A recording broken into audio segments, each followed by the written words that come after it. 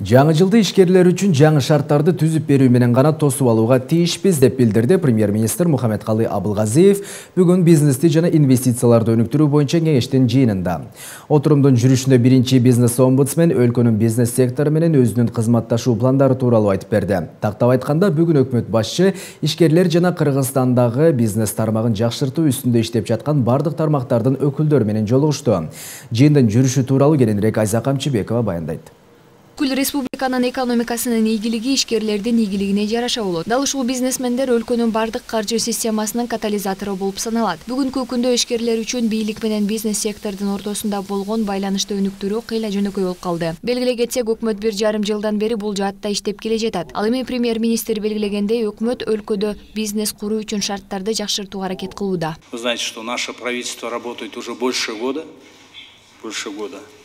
Сиздер биздин өкмөт бир жылдан ашык убакыттан бери иштеп жаткандыгын билесиздер бул убакыт аралыгында өкмөт бизнес жаатын колдоо менен бул тармактын прогресс жаратып жатканын байкай алдык бул үчүн жылдын башында мораторий жарыяланган ошол мораторий эффективдүү көрсөткүчтөрдү бере алды деп айта алам. Я знаю уже эта мера работает. Эффективно? Бул жеткенчек эмес. Эми кыргызстанда бизнес акыйкатчынын институту ишке киргизилет. Эске салсак үстүбүздөгү жылдын башында премьер министр ишкердүүлүк субъектилеринин укуктарын эркиндиктерин жана мыйзамдуу кызыкчылыктарын коргоо боюнча ыйгарым укуктуу бизнес акыйкатчынын институтун түзүү жөнүндө өкмөттүн токтомуна кол койгон. Буга ылайык аталган кызматка токсон тогуз талапкердин ичинен улуу британиянын кыргызстандагы мурдагы элчиси гобин ортсмиттин талапкерлиги жактырылган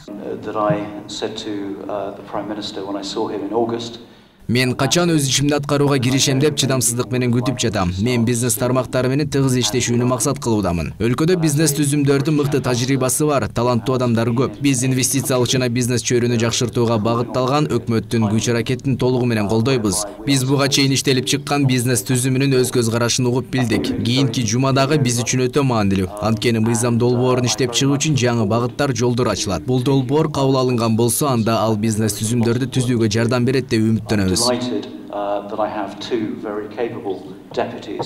соңунда робин орд смит ал чет өлкөнүн жараны болгонуна карабастан жүктөлгөн иштерди аткарууга даяр экендигин билдирди. Айтмакчы отурумга ишкерлер да катышышты. Алар өз суроолоруна жооп алуу менен бирге аларга дагы өкмөткө дагы пайдалуу кеңештерди бере алышты. На примере такого молочного промышленного предприятия приведу пример. Мен сүт ишканасы тууралуу бир мисал келтирсем бул тармак айыл чарба продукцияларын кайра иштетүү багыты боюнча он беш ар түрдүү формада статистикалык отчет беришет. Бул башталгыч каржы маселелеринен тарта инвестиция тартууга чейин башка мамлекеттик органдардын отчеттору менен да текшерилип кайталанып жатат. Биз бул тармакты дагы жакшылап карашыбыз керек. Белгилей кетсек кыргызстан ишкердик чөйрөнү жакшыртуу боюнча реформаларды жүргүзүүдө чоң жетишкендиктерди көрсөткөн өлкө катары жыйырма мыктынын арасына кирген өлкө. Өкмөт башчы белгилегендей бүгүнкү күндө бизнес үчүн шарттарды жакшыртуу боюнча активдүү иштер жүрүүдө. Ал эми эки миң жыйырма үчүнчү жылга карата эми кыргызстан дуинг бизнес инвестиция тартуу жана бул багыттагы иштер менен мыкты кырк өлкөнүн катарын толуктоону пландоодо. Айза камчыбекова жантай макенов пирамида